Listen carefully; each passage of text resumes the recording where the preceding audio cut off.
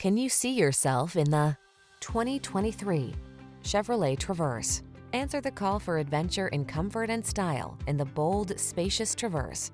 Its quiet cabin, flexible cargo storage, safety features, connectivity, and all-weather capabilities infuse every drive with confidence. These are just some of the great options this vehicle comes with.